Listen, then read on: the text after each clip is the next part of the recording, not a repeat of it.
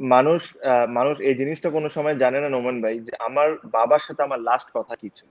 আমার বাবার সাথে আমার লাস্ট কথা এটাই ছিল, আমার পরের দিন খেলা ছিল আন্ডার থার্টিনের ফার্স্ট আন্ডার থার্টিনের টুর্নামেন্ট তো আমি ঘুমাচ্ছিলাম, একসাথে আমি আর আব্বা ডিনার করেছি, ঘুমাচ্ছি আমি ঘুম থেকে উঠে দেখি কি, চার পাঁচজন ডক্টর আমার আব্বার রুমে আমার আব্বার হার্ট অ্যাটাক হয়েছে, ওটা নিয়ে মানে ডক্টররা যা কাজ করা সে করছে।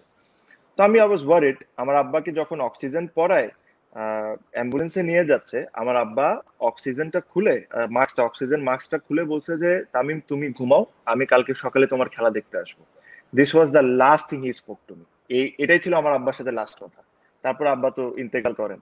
তাহলে আপনি তো বুঝতে পারেন যে আব্বার কি অবস্থা আর কি আমার সাথে। আর ভাইয়ার যে কথাটা বললেন যে হ্যাঁ আমার ক্যারিয়ারের শুরুতে এটা নিয়ে আমি অনেক উত্তর দিয়েছি, এটা নিয়ে অনেক প্রশ্ন হয়েছে, ভাইয়ের সাথে একসাথে ওপেন এরকম হয়তো বা একটা সময়ও ছিল, নোমান ভাই যে ক্লোজও ছিলাম যে দুইজন একসাথে ওপেন করব।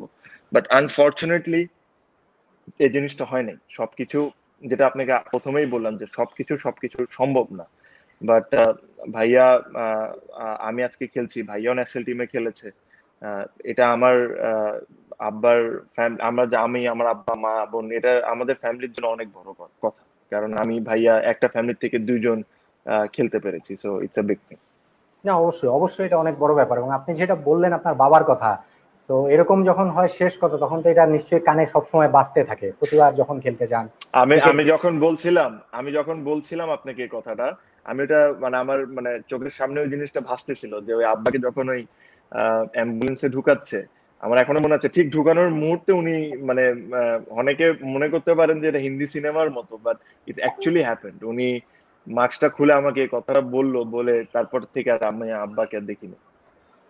না আপনার স্যাটিসফ্যাকশনের জায়গাতে আমি ওইভাবেই আপনি একটা সান্ত্বনা নিতে পারেন যে বাবার ড্রিমটা আপনি চেস করছেন এবং করে চলেছেন এখনও করে চলেছেন। একদম নতুন যে কোনো স্কুলের ছেলের মতো। আমিও যখন ওই স্কুলে গেছি তা আমার বন্ধুদেরকে বলছি কিরে কেউ সুন্দর কেউ আসছে নাকি? ঠিক আছে? তো আমার বন্ধু বলছে হ্যাঁ দোস্ত একটা আসছে কিন্তু জুনিয়র আমি চল, আমি দেখা আমারে তো আমি যাই দেখছি, দেখে আমার কাছে খুব পছন্দ হয়েছে। পছন্দ হওয়ার পর তার পিছনে আমি অনেক দিন ধরে ছিলাম। তারপর আমার একটা ফ্রেন্ড মেয়ের ফ্রেন্ড আমার, তাকে আমি রিকোয়েস্ট করলাম যে আমার প্রস্তাবটা নিয়ে তার কাছে যাওয়ার জন্য। আমাদের স্কুলের অ্যানুয়াল ফাংশন হচ্ছিল। অ্যানুয়াল ফাংশনের আপনার কি বলে ট্রেনিং হচ্ছিল আর কি। প্রিপারেশন করছিল ওই দিন। তো আমার আমার ফ্রেন্ডটা আমার ওয়াইফের কাছে যে, যখন বলল, প্রস্তাব দিল যে আমার একটা বন্ধু তোমার খুব পছন্দ করে ও তোমার সাথে কথা বলতে চাও হোয়াট এভার হোয়াট এভার তো তখন মানে ওই বলছে যে লাভ করে আর কি হোয়াট এভার তো তখনই আমার বউ, আমার আয়সা বলল যে love I hate the word love তো আমার বন্ধু এসে আমাকে বলল যাদব সিনিয়রদের সামনে এভাবে কথা বলতেছে সম্মান করতে পারে না। হ্যাঁ তো আমার ওই বন্ধুটা খুব অফেন্ডেড ফিল করছিল বাট বাট ওখান থেকে আমি হাল ছাড়ি নেই ধরেছিলাম কোনোভাবে। তো ইভেন্চুয়ালি দুই তিন মাসের মধ্যে সামাও হয়ে গেল আর কি। সামহাও হয়ে গেল এবং সেই সামহাও হওয়াটা শুধুমাত্র যে স্কুলে গণ্ডিতে সীমিত থাকল না।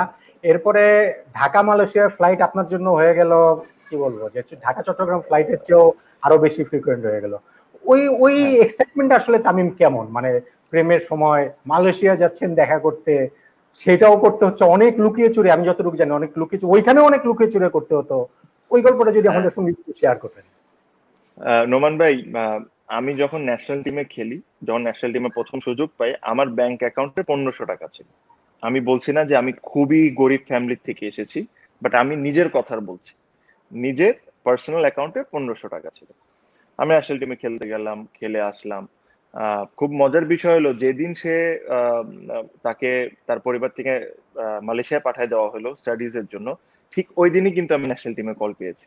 আল্লাহ কি একটা রহমত আমাদের উপর। যদি আমি ওই সময় ন্যাশনাল টিমে না খেলতাম তাহলে এই প্রেমটা থাকতো না বিকজ ওই সময় প্রতি মিনিট বিশ পঁচিশ টাকা করেছিল ইন্টারন্যাশনাল কল তা আমি এত টাকাও পাইতাম না প্রেমও চালিয়ে রাখতে পারতাম না। তো সামাও এটা মিলে গেল। তো আমার কাছে মনে হয় আমি জিম্বাবুয়ের ট্যুর থেকে ফার্স্ট এসে আমি দুই লাখ তিরিশ হাজার টাকা মতো পেয়েছিলাম। তো ওই দুই লাখ তিরিশ হাজার টাকা দিয়ে আমি আশি হাজার টাকা দিয়ে একটা ল্যাপটপ কিনেছিলাম। ল্যাপটপটা কেন কিনেছিলাম আমি জানি না বাট ছোটবেলার থেকে আমার একটা ফ্যাসিনেশন ছিল ল্যাপটপের পিছনে। ওটা দিয়ে কি করব ইন্টারনেটও ইউজ করতে পারি না কিচ্ছু পারি না বাট ল্যাপটপ কিনবো ল্যাপটপ একটা আমার থাকবে। তো ওটা দিয়ে আমি আশি হাজার টাকা দিয়ে ল্যাপটপ কিনেছি। দুইটা প্লেনের টিকিট কিনেছি একটা আমি আমার একটা ফ্রেন্ড বিকজ আমার ফ্রেন্ড মালয়েশিয়া গেছে আমি কোনোদিন যাই নাই মালয়েশিয়ায়। তো আমি শিওর ছিলাম না যে কীভাবে ওখানে কি হবে। আর এক হাজার ডলার বানিয়েছিলাম যে ওখানে যাই খরচ করার জন্য। এই হলো দুই লাখ যাই পেয়েছিলাম দুই লাখ তিরিশ, চল্লিশ হাজার টাকা, এটা হলো আমার প্রথম খরচ। তো ওখানে যায় মানে হয়তো কি, ওর স্কুল শেষ হইতেও, তারপরে এক ঘণ্টা সময় পাইতাম, আমরা কোনো একটা জায়গায় দাঁড়ায় এক ঘণ্টা কথা বলতাম, আর সে চলে যেত। পরের দিন আমি এরকমই করতাম। আমার কাছে মনে হয় যে আমি আমার বিয়ের আগে আমি দশ বছর আমার ওয়াইফের সাথে সম্পর্ক ছিলাম। আর এই দশ বছর ওয়াজেন্ট ইজি এটা খুবই ডিফিকাল্ট ছিল। এটা আল্লাহ যদি আমাকে অবস্থায় না রাখতো তাহলে এটা সম্ভবই থাকতো না। বিকজ এখানে এটার পিছনে আমার শ্রম, টাকা পয়সা অনেক খরচ হয়েছে।